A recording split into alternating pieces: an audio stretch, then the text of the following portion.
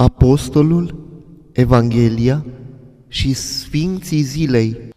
Apostolul și Evanghelia din Duminica a patra după Sfintele Paști. Apostolul din Faptele Sfinților Apostoli citire. În zilele acelea Petru, trăgând pe la toți, a coborât și la Sfinții care locuiau în Lida, și acolo a găsit pe un om anume Enea, care de opt ani zăcea în pat, fiindcă era paralitic. Și Petru i-a zis, Enea, te vindecă Iisus Hristos. Ridică-te și strângeți patul. Și îndată s-a ridicat și l-au văzut toți cei ce locuiau în Lida și în Saron, care s-au și întors la Domnul. Iar în Iope era o uceniță cu numele Tavita, care tâlcuindu-se se zice căprioară. Aceasta era plină de fapte bune și de milostenile pe care le făcea. Și în zilele acelea ea s-a îmbolnăvit și a murit. Și scăldând-o, au pus-o în camera de sus. Și fiind aproape Lida de Iope, ucenicii, auzind că Petru este în Lida, au trimis pe doi bărbați la el, rugându-l, nu pregeta să vii până la noi. Și Petru, sculându-se, a venit cu ei. Când a sosit, l-au dus în camera de sus și l-au înconjurat toate văduvele plângând și arătând cămășile și hainele câte le făcea căprioara pe când era cu ele. Și Petru, scoțând afară pe toți, a îngenunchiat și s-a rugat și întorcându-se către trup a zis, Tavita, scoală-te! Iar ea și-a deschis ochii și văzând pe Petru, a șezut. Și dându-i mâna, Petru a ridicat-o și chemând pe sfinți și pe văduve, le-a dat o vie. Și s-a făcut cunoscută aceasta în întreaga Iope și mulți au crezut în Domnul. Sfânta și Dumnezească Evanghelie din Duminica a patra, după Sfintele Paști. Citire din Evanghelia de la Ioan. În vremea aceea era o sărbătoare a iudeilor și Isus a suit la Ierusalim. Iar în Ierusalim, lângă poarta oilor, era o scăldătoare, care se numea pe evrește Vitezda, având cinci pridvoare.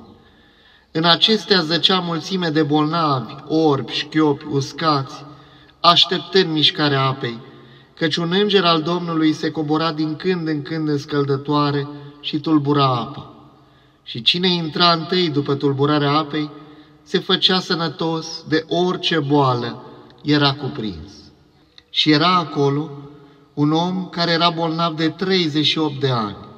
Iisus, văzându-l pe acesta zăcând, și știind că este așa încă de multă vreme a zis, Voiești să te faci sănătos? Bolnavul i-a răspuns, Doamne, nu am om care să mă arunce în scăldătoare, când se tulbură apa, că până vin eu, altul se coboară înaintea mea. Iisus i-a zis, scoală-te, ia sfatul tău și umblă. Și îndată omul s-a făcut sănătos și a luat patul și umbla. Dar în ziua aceea era sâmbătă, deci ziceau iudeii către cel vindecat, este zi de sâmbătă și nu este îngăduit să-ți iei patul. El le-a răspuns, cel ce m-a făcut sănătos, acela mi-a zis, ia-ți patul tău și umblă. Ei l-au întrebat, cine este omul care ți-a zis, ia patul tău și umblă? Iar cel vindecat nu știa cine este, căci Isus se dăduse la o parte din mulțimea care era în acel loc. După aceasta, Isus l-a aflat în templu și a zis, Iată că te-ai făcut sănătos, de acum să nu mai păcătuiești, ca să nu ți se întâmple ceva mai rău. Atunci omul a plecat și a spus iudeilor că Isus este Cel care l-a făcut sănătos. Îți mulțumim, Doamne Iisuse Hristoase, pentru cuvântul Evangheliei din această duminică a patra, după Sfintele Paști. Îți mulțumim că astăzi am învățat că Tu ești Cel care ne dai sănătatea, că sănătatea este un dar de preț venit de la Tine. Și dacă Te avem pe Tine, avem și sănătate atât trupească cât sufletească. Te binecuvântăm, te preamărim, te proslăvim și mulțumim Tatălui pentru darul minunat al cuvântului Său pe care ni l-a dat pentru noi și pentru a noastră mântuire, ca oricine crede în El să nu piară, ci să aibă viață veșnică. Amin. Hristos a înviat, adevărat a înviat. Sfinții zilei de 26 mai Sfântul mucenic Averchie, Sfântul Apostol Tadeu, Sfântul Apostol Alfeu, Sfântul Apostol Carp, Sfânta Muceniță Elena, cu ale lor sfinte rugăciuni, Doamne Iisuse Hristoase, miluiește-ne și ne mântuiește pe noi. Amin.